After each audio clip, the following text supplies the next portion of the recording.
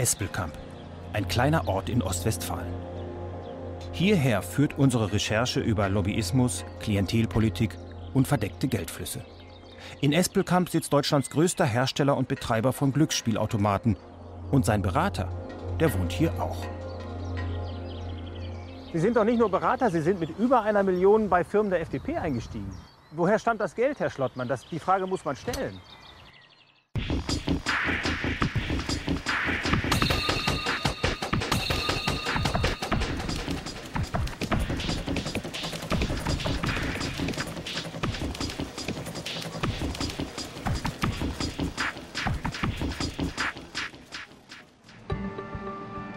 Politik muss beeinflusst werden.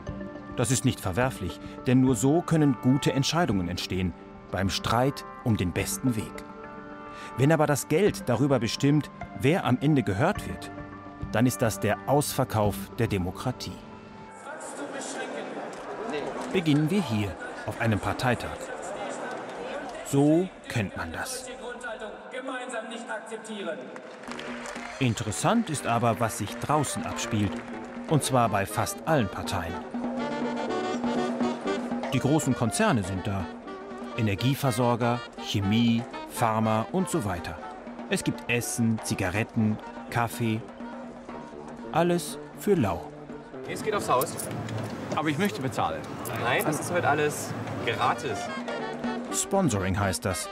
Offiziell präsentieren sich Verbände und Konzerne der Öffentlichkeit. Auf den ersten Blick findet man an den Ständen nur freundliche Servicekräfte. Aber kaum lässt sich ein namhafter Politiker blicken, stehen da auch andere Mitarbeiter. Der Herr da beim Außenminister zum Beispiel. Mit mir redet er nicht so gerne. Sie können unsere Pressestelle gerne anrufen und das ist unser normaler, üblicher Weg, mit der Presse zu kommunizieren. Was ist Ihre Funktion? Ich bin hier in der Politikabteilung. Herr Biesel von Air Berlin war mal Staatssekretär im Auswärtigen Amt und gilt als einer der bestvernetzten Lobbyisten der Hauptstadt. Kurt-Dieter Grill war mal CDU-Abgeordneter, jetzt ist er freischaffender Berater, auch für den TÜV. Oder Dittmar Staffelt, früher Staatssekretär im Wirtschaftsministerium, jetzt Kontaktpfleger für den Rüstungskonzern EADS. Seitenwechsler, ausgestattet mit viel Geld, um ihre guten Kontakte spielen zu lassen. Und obwohl Sponsoring doch eigentlich etwas Öffentliches ist, freut man sich über meine Fragen meist überhaupt nicht. Nicht bei Audi. Wir haben eben schon mal gefragt, darum machen wir Nicht bei Bayer. Ob es sich Und auch nicht bei VW. Deren Lobbyist war mal Sprecher des Verkehrsministeriums, jetzt spricht er nicht so gerne. Wir freuen uns, dass wir hier sind. Und wir dürfen Sie nicht fragen, warum Sie kommen? Selbstverständlich, dass wir hier sind. Und dann wird er flott. Denn viel lieber redet der Konzernvertreter zum Beispiel mit dem sächsischen Ministerpräsidenten. Der Ton ist sehr vertraut. Zwei Leute, schön gut. Und wie gesagt, du brauchst jetzt nicht, du ha- du hast eine bestimmte Reichweite elektrisch und dann kannst du auf äh, Diesel umschalten. Auch bei der SPD kommt man sich näher. Ist der Konzern oder der Verband nur groß genug, kann man scheinbar haben, wen man will. Wir haben beim CDU-Parteitag natürlich die Kanzlerin hier. Wir haben hier beim SPD-Parteitag Herrn Gabriel gestern hier gehabt. Wir werden wahrscheinlich gleich Herrn Steinmeier bei uns begrüßen können. Also da wollen wir uns nicht beklagen.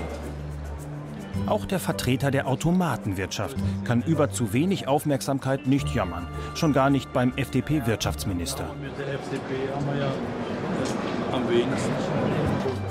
Keine Probleme mit der FDP. Wie gut die Beziehungen tatsächlich sind, das werde ich erst noch lernen. Februar 2012. Im Bundeswirtschaftsministerium ist eine Anhörung angesetzt. Es geht um eine neue Spieleverordnung für die Glücksspielbranche. Das heißt, es geht um Milliardenumsätze. Mit dabei Paul Gauselmann, Deutschlands Automatenkönig, Verbandspräsident der Automatenwirtschaft und damit auch Cheflobbyist. Schon oft hat er seine Argumente mit Geld gespickt. Da sind ja heute meistens Lehrer oder Beamte, die dort Politik machen. Die haben von der eigentlichen Wirtschaft ja nicht die Ahnung, die sie manchmal haben müssten, um Entscheidungen zu treffen. Und wir Wenn wir gefragt werden nach Spenden, geben auch Spenden. Und wenn wir gefragt werden, ob wir etwas ausstellen wollen oder eine Anzeige schalten wollen, dann machen wir das. Schon häufiger stand Gauselmann im Zusammenhang mit dubiosen Gaben an die Parteien. Zum Beispiel Spenden. Das Geld kam in kleinen Beträgen, nicht veröffentlichungspflichtig, von seinen Mitarbeitern. Aber versehen mit einem netten Brief von Gauselmann. Im Ministerium trifft er auf gute Bekannte. Den zuständigen Abteilungsleiter kennt er seit Jahren und der Staatssekretär von der FDP lobt öffentlich den sehr guten Kontakt zur Branche. Und die kann Hilfe gebrauchen. Die Automatenwirtschaft steht politisch unter Druck. Es geht um Milliardenumsätze und um Spielsucht. 12 Euro gewonnen in einem Spiel. Professor Gerhard Meyer ist einer der führenden Spielsuchtexperten in Deutschland. Keiner kennt sich mit den Gefahren der Automaten besser aus. Es gibt immer mehr Spielhallen und immer mehr Süchtige, die Hilfe suchen. Das heißt eben, die Branche lebt letztendlich von den süchtigen Spielern. Es gibt Schätzungen der Universität Hamburg, dass 56 Prozent der Einnahmen äh, an Geldspielautomaten mit süchtigen Spielern generiert werden. Ein Beispiel. Laut Gesetz darf in Spielhallen nur mit kleinen Einsätzen und Gewinnerwartungen gezockt werden. Doch das Ministerium erlaube es, diese Vorgaben zu umgehen und so die Suchtgefahr zu steigern, sagt Meyer. Um die Spieler besser zu schützen, muss der Bund jetzt die Spieleverordnung ändern. Aber fast alle unabhängigen Experten sagen, der Entwurf des FDP-geführten Wirtschaftsministeriums schützt nicht die Spieler, sondern vor allem die Gewinne der Industrie. Wie schafft die Industrie das, immer wieder Vorgaben, die eigentlich doch in Gesetzen oder Verordnungen stehen, zu umgehen? Ja, äh, das ist schon eine interessante Frage, weil das in der Vergangenheit halt schon häufiger passiert ist. Ich kann es mir nur so erklären, dass eben politische Parteien gewählt, äh, gewillt sind, äh, doch die Branche zu unterstützen, äh, Schaden von ihr fernzuhalten. Das sehen wir ja auch jetzt wieder. Da ist das FDP geführte Bundeswirtschaftsministerium nur marginale Korrekturvorschläge äh, angeboten hat, wie die Spielverordnung äh, zu ändern ist. Und aus der Perspektive der Suchtprävention kann das so einfach nicht weitergehen. Schützenhilfe für die Automatenwirtschaft kommt regelmäßig von der FDP. Und genauso regelmäßig tritt die Branche bei der Partei als Sponsor auf. Auch bei festlichen Empfängen, wie für den Fraktionschef Rainer Brüderle oder Hermann Otto Solms.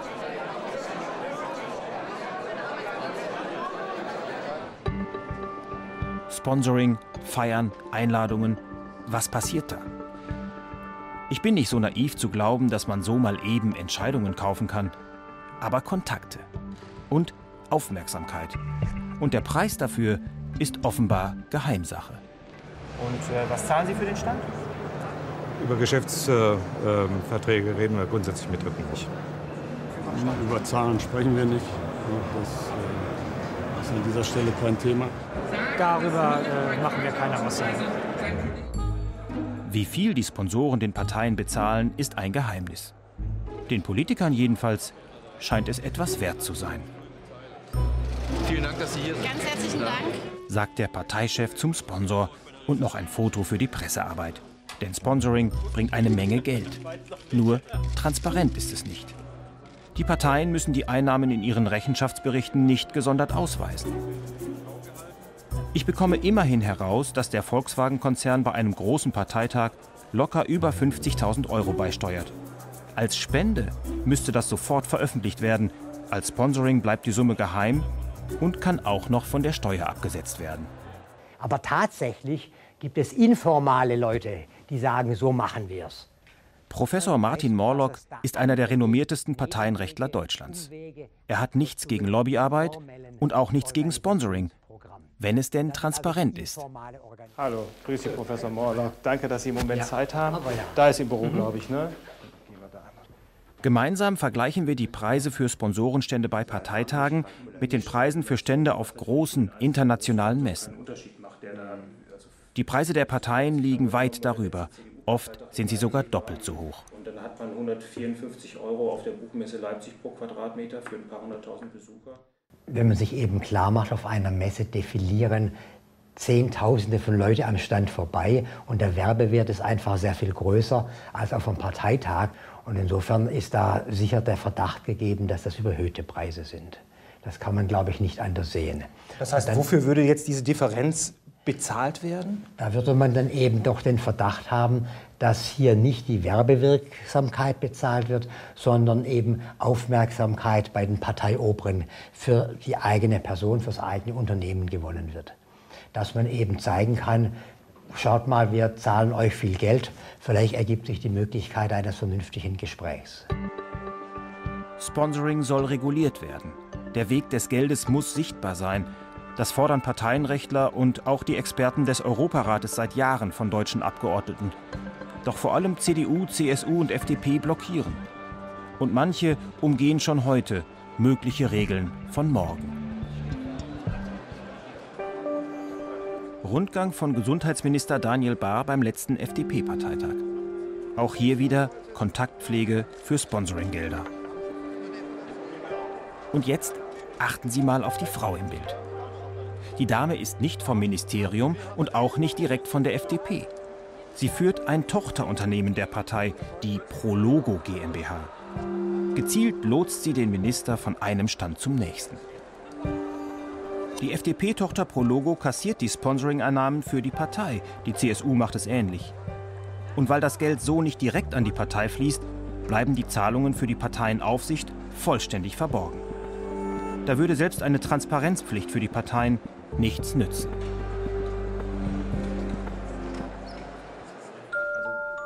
Dass Parteien überhaupt ein eigenes Firmengeflecht haben, ist ja schon merkwürdig genug, aber fast alle Parteien machen das.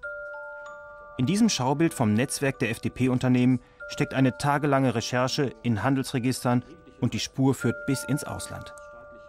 Tochterfirmen erbringen Leistungen untereinander, oft auch Leistungen für die Partei. Geld fließt hin und her. Unsichtbar.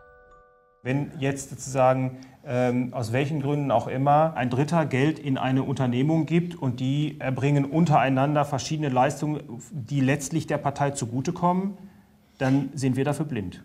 Dann kann man natürlich auf diese Art und Weise mit Kosten manipulieren, sodass die Partei durch den Zufluss seitens eines Drittens im Ergebnis etwas bekommt, aber das taucht im Rechenschaftsbericht nicht auf. Amtsgericht Berlin. Ich schaue mir das Firmengeflecht der FDP genauer an und stoße erneut auf die Prologo GmbH. Die Firma gehört zu 71 Prozent der FDP.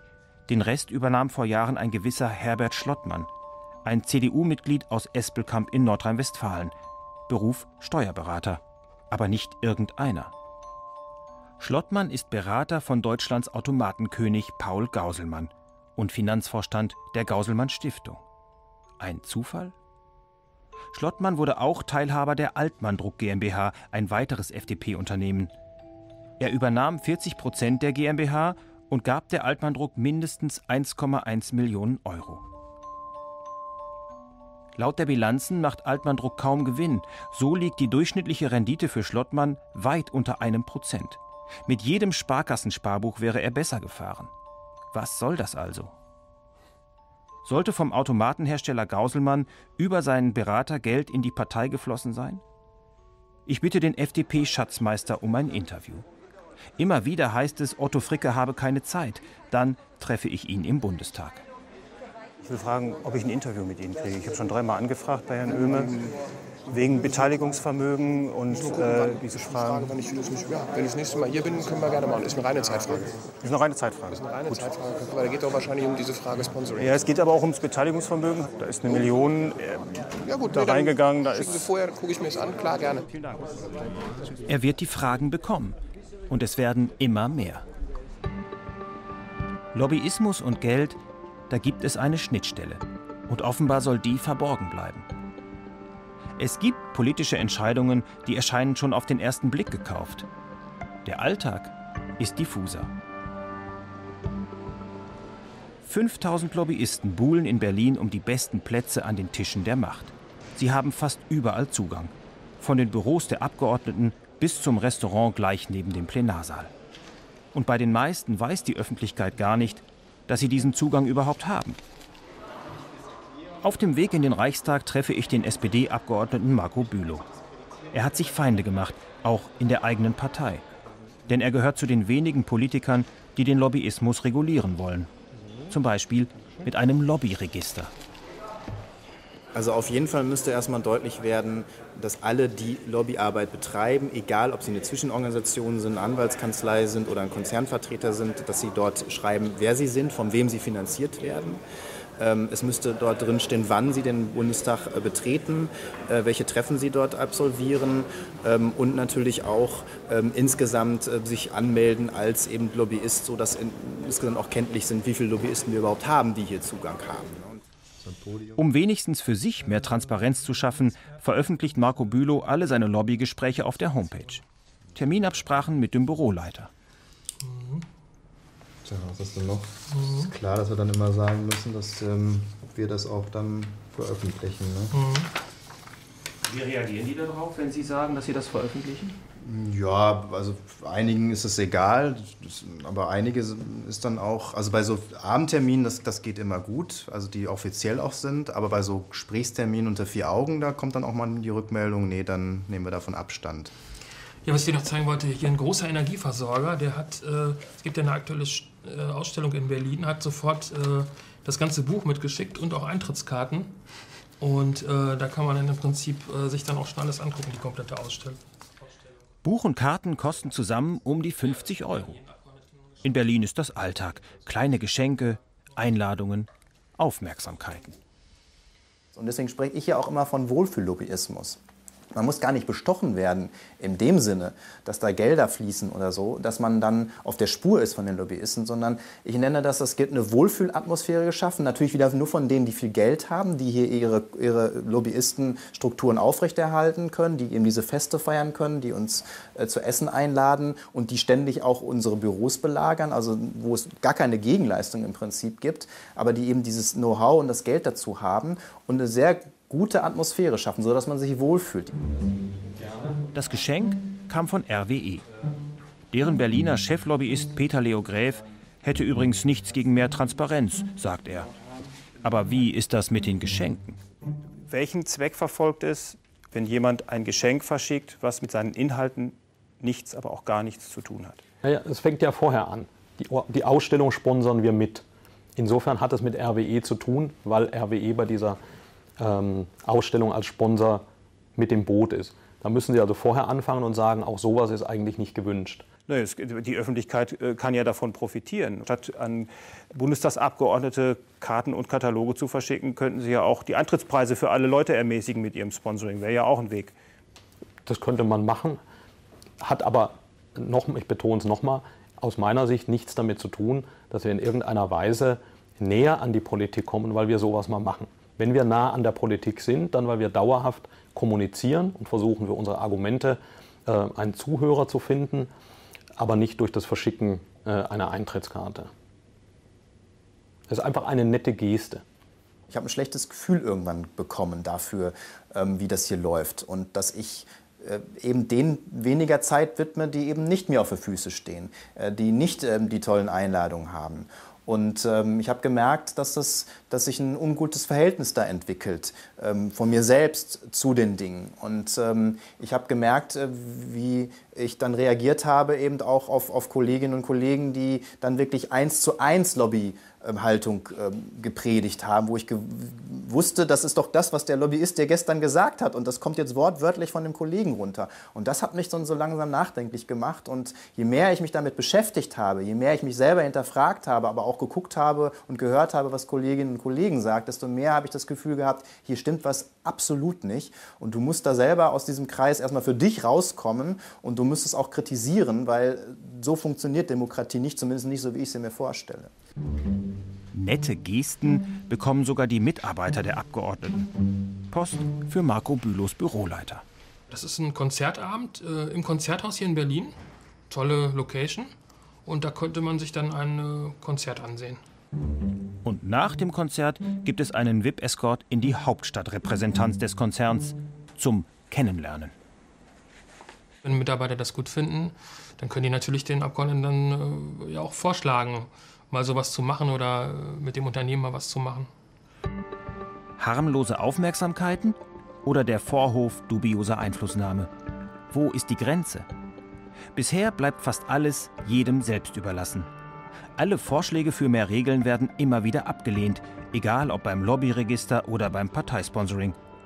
In Deutschland ist selbst die Bestechung von Politikern in der Regel nicht strafbar. Das gibt es eigentlich nur in Schurkenstaaten. Was passiert im Kopf, wenn jemand plötzlich nicht mehr für den Bürger arbeitet, sondern für Profitinteressen? Wolf Tillmann Baumert fragt sich das seit Jahren. Er ist Korruptionsspezialist bei der Staatsanwaltschaft Wuppertal. Bei Seminaren wie hier in Freiburg erklärt er, wie schon kleine Geschenke Menschen beeinflussen können, oft auch beeinflussen sollen. Darum sind sie verboten. das, was so unter Kaufleuten oftmals noch erlaubt ist, wir kommen nachher zu den Grenzen, das ist aber bei Amtspersonen sehr schnell illegal. Klammer auf, es sei denn, sie sind Politiker, Klammer zu. Diese Freiburger Beamten dürfen nicht mal einen Wert von 25 Euro annehmen. Sowas ist sehr genau geregelt. Darum können Baumert und seine Kollegen korrupte Beamte überführen. Politiker fast nie, denn die dürfen fast alles.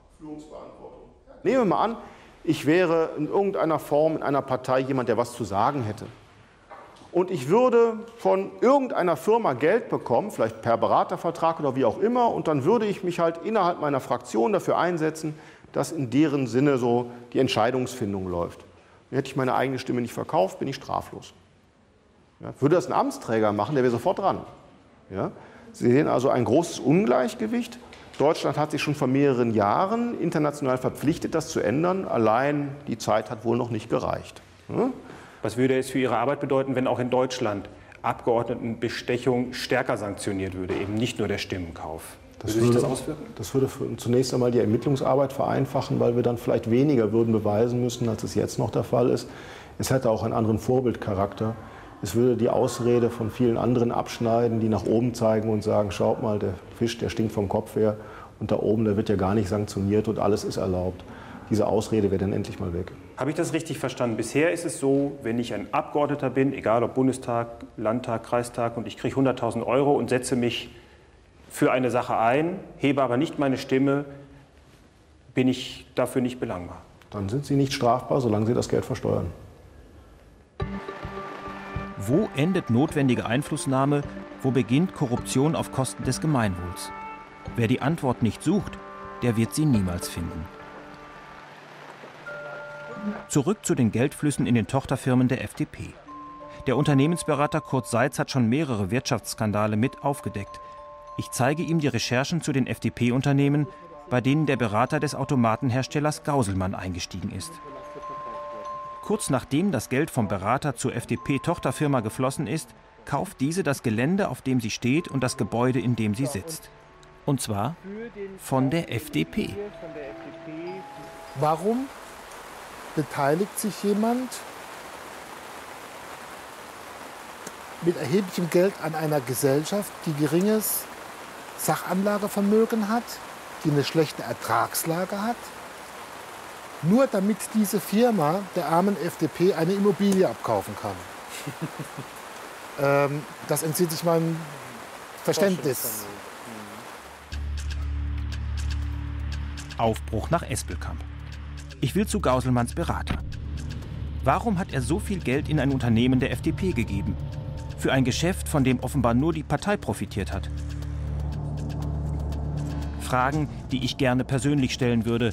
Doch für alle Fälle habe ich sie auch schriftlich vorbereitet.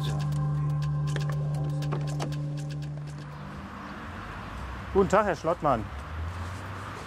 Mein Name ist Pollmeier vom Westdeutschen Rundfunk, Redaktion Monitor. Ähm, wir sind hier, weil wir darauf gestoßen sind, dass Sie an äh, Altmann Druck und an Prologo beteiligt sind. Sie wissen auch, dass ich Berater bin. Ich kann keine Auskunft geben. Sie können gar keine Auskünfte geben. Aber Sie sind ja auch Gesellschafter, Herr Schlottmann. Darf ich Ihnen diese Fragen wenigstens hier lassen? Ich muss meine Fragen ja irgendwem stellen. Sie sind doch nicht nur Berater, Sie sind mit über einer Million bei Firmen der FDP eingestiegen. Herr Schlottmann, woher stammt das Geld? Ist das von Gauselmann? Schlottmann wird auch die schriftlichen Fragen nicht beantworten. Und auch Automatenhersteller Gauselmann schweigt. Ob er von dem Deal wusste, ob die Million von ihm stammt, Gauselmann verweigert die Antwort. Ich gucke mir die Firma, um die es geht, noch mal genauer an. die Altmanndruck GmbH. Der Unternehmensberater Kurt Seitz hatte mich gebeten, mehr über den Kaufpreis herauszufinden. Und tatsächlich. Der Gutachterausschuss für Grundstückswerte in Berlin schreibt uns, dass für das Grundstück ein Höchstpreis von 140 Euro pro Quadratmeter realistisch gewesen wäre.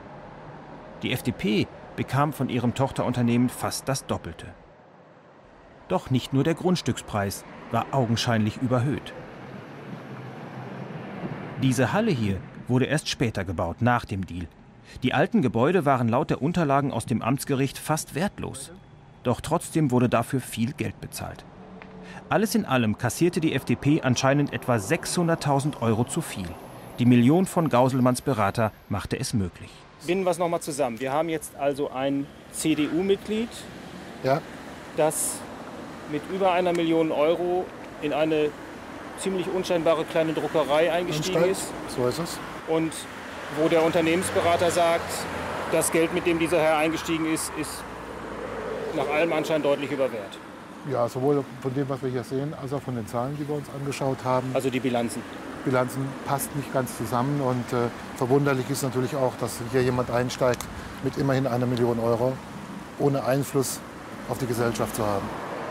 Und dann geschieht etwas Merkwürdiges. Fünf Tage nach meinem Besuch wird Herbert Schlottmann als Teilhaber an den FDP-Firmen abgelöst. In den Registern steht fortan ein treuer FDP-Funktionär. FDP-Schatzmeister Fricke gibt das versprochene Interview nicht. Die FDP weist jeden Verdacht der Käuflichkeit von sich. Man halte sich strikt an das Parteienrecht. Doch die konkreten Fragen zu den Geldflüssen in den Tochterunternehmen werden einfach nicht beantwortet. Im Klartext, es gibt den Verdacht einer verdeckten Millionenspende. Kann die FDP einfach mauern? Ich bitte den renommierten Staatsrechtler Ulrich Battis um seine Bewertung. Und die ist deutlich. Die Parteien sind verpflichtet, diese vielen detaillierten Vorschriften nicht nur nach dem Buchstaben, sondern auch nach ihrem Geist zu erfüllen und Transparenz zu schaffen. Und äh, wenn sich der Verdacht aufdrängt, dass hier äh, ein Unternehmen missbraucht wird, um Geldströme äh, an Parteienrecht vorbei äh, in die Kasse der Partei zu äh, befördern, dann besteht natürlich eine Aufklärungspflicht. Wer müsste jetzt wie handeln? Nun, die äh, FDP ist wahrscheinlich gut beraten, wenn sie jetzt, und ich denke, sie wird ja auch auf, auf ihre Vorhaltung, wird sie reagieren müssen. Doch selbst als unsere Recherchen öffentlich bekannt werden, hat die FDP keine klaren Antworten auf unsere Fragen. Immerhin, die Bundestagsverwaltung soll die Sache nun prüfen. Und da gibt es einiges zu tun. Fast am Ende fällt uns noch ein Dokument auf. Wir hatten es die ganze Zeit übersehen. Schlottmann hat beim Stammnotar der FDP insgesamt vier Verträge abgeschlossen.